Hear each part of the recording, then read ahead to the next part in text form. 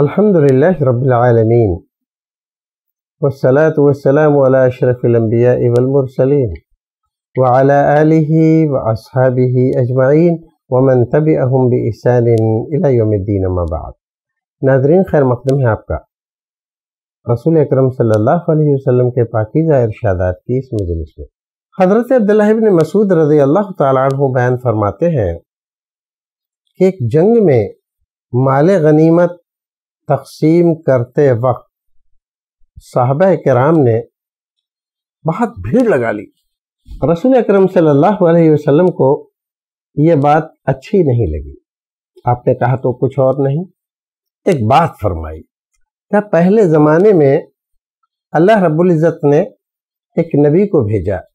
वो नबी वाज कहते, नसीहत करते, तबलीग करते, लोगों को अच्छाई की तरफ़ बुलाते, लेकिन लोग थे उस ज़माने के कि उन नबी के साथ वो बर्ताव करते जो दुश्मनों के साथ किया जाता। नबी अपनी उम्मत का सबसे ज़्यादा खैर ख्वाह होता अब खैर ख्वाह के साथ इतनी बदख्वाही वाला मामला हो तो बड़ी तकलीफ़ की बात है। रसूल अकरम सल्लल्लाहु अलैहि वसल्लम इरशाद फरमाते हैं, एक बार तो ऐसा हुआ कि नबी को झुटलाते झुटलाते लोगों का गुस्सा इतना बढ़ गया कि उन्होंने उनका सर फोड़ दिया। नबी मोहतरम का सर फोड़ दिया गया और उससे खून बह रहा है और बहकर उनके चेहरे पर आ रहा है।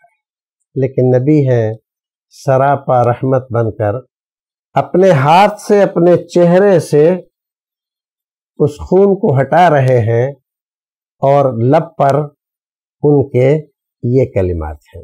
अल्लाह कौमी फ़ैन लालमून मेरे रब, ये मेरी कौम के लोग हैं। ये सही है कि इन्होंने मेरा सर फोड़ दिया, मेरी तकजीब की, मेरी बात नहीं मानी, मेरा दिल दुखाया, मेरा जीना दोभर कर दिया। बहुत ज़्यादा तकलीफ़ें इन्होंने दी हैं। लेकिन मेरे रब, इनको बख्श दे, इनको माफ़ कर दे। क्यों? इतने जराइम करने के बाद भी, फ़ैन हम लायालमून ये मुझे पहचानते नहीं है, जानते नहीं है, मेरा दर्जा मर्तबा नहीं जानते। मेरी खैर ख्वाही के बारे में बदगुमान है। अल्लाह मकफिल कौमी फ़ैन हम लायालमून आप अंदाज़ा लगा सकते हैं, एक नबी अपनी कौम का कितना हमदर्द, कितना खैर ख्वाह और कितनी मोहब्बत करने वाला होता है। हमारे नबी इससे भी ज़्यादा मोहब्बत करने वाले थे। अपनी उम्मत से, अपनी कौम से, मुसलमानों से। किसी मुसलमान के पैर में कांटा भी चुभ जाए, रसूल को ये भी गवारा नहीं था। इतनी मोहब्बत और खैर ख्वाही तो नबी से ज़्यादा खैर ख्वाह हमदर्द न बाप होता है, न माँ होती है, न भाई होता है, न बेटा होता है, न बीवी होती है, कोई नहीं होता। जितना मेहरबान खैर ख्वाह हमदर्द नबी होता है अपनी कौम का। रसूल अकरम सल्लल्लाहु ने ऐसे मौके से ये बात फरमाई, क्या इससे आप कुछ समझ रहे हैं? एक बात जो किसी लफ्ज से ज़ाहिर नहीं हो रही है, लेकिन जो सूरत हाल है, वो बता रही है। नबी मोहतरम सल्लल्लाहु अलैहि वसल्लम जो माल भी हासिल होता था जंगों में, उसको आप नहीं लेते थे।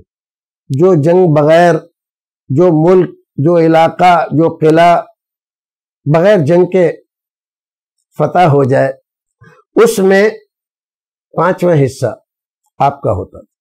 लेकिन वो आप सब अपने मुतलकिन रिश्तेदारों, जिनके हुकूक आप पर थे, उन पर तकसीम कर दिया करते थे। और अपनी ज़िंदगी वही सादा खाने, पीने, पहनने, ओढ़ने, रहने, सहने, हर एक चीज़ में जो आपका तरीका पहले दिन था, वही आखिरी दिन तक रहा। कोई फ़र्क नहीं आया।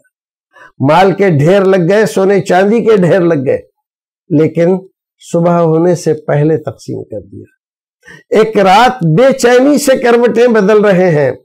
हज़रत आयशा ने पूछा, मेरे सरताज, क्या बात है? आज आपको नींद नहीं आ रही। बेकली, बेकरारी किस वजह से है? फरमाया आयशा, मेरे घर में कुछ माल रखा हुआ है, जो तकसीम नहीं हुआ।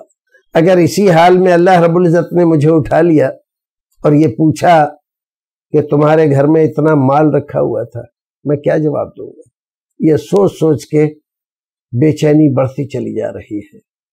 हज़रत आयशा ने बहुत ढारस बंधाई, समझाया लेकिन बेकरारी कम नहीं हुई जब तक के सुबह उठकर आपने वो सारा माल तकसीम नहीं कर दिया।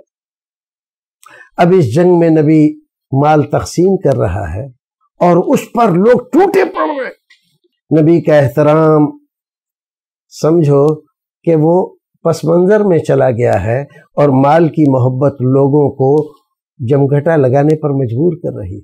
नबी ने उस नबी का तस्करा किया। अपने आप को तसल्ली देने के लिए कि उस नबी को झुटलाया गया, उसका सर फोड़ दिया गया, खून बह रहा है और अपने हाथ से पूछ रहा है। हज़रत अब्दुल्ला इबन मसूद रज़ी अल्लाह तु बयान करते हैं, मेरी आँखों में आज भी वो मंजर है। मुझे लग रहा है कि मेरे नबी अपने हाथ से अपने चेहरे पर फेर कर दिखा रहे हैं कि वो नबी कैसे खून पहुँच रहा था। भाइयों, अजीजों नबी मोहतरम सल्लल्लाहु अलैहि वसल्लम से मोहब्बत, आपकी अकीदत, आपकी तालीमत पर अमल, ये हमारे लिए सबसे बड़ा सरमा है। सबसे बड़ा सरमा है। रसूल की मोहब्बत, आपसे अकीदत, आप पर दरूद, आपकी तालीमत को दूसरों तक पहुंचाना और आपकी बात को ज़्यादा से ज़्यादा लोगों तक पहुँचाने की अपने तरीके से, अपने वो सत भर इसकी कोशिश हमेशा करते रहना चाहिए। अल्लाह रबुल्ज़त हमें और आपको नेक अमल करने की तोफ़ी अता फरमाए। असलकम वरहमतुल्लाहि वबरकatuh माशा दीनी रहनुमाई और दुनियावी मालूम के लिए हमारा आई प्लस टीवी सैटेलाइट पर वापस आ गया है। देखने के लिए केबल ऑपरेटर को अभी कॉल करें। मजीद मालूम के लिए कॉल करें nine five double eight double eight double eight two six पर। देखते रहिए। आई प्लस टीवी बेहतर ज़िंदगी के लिए।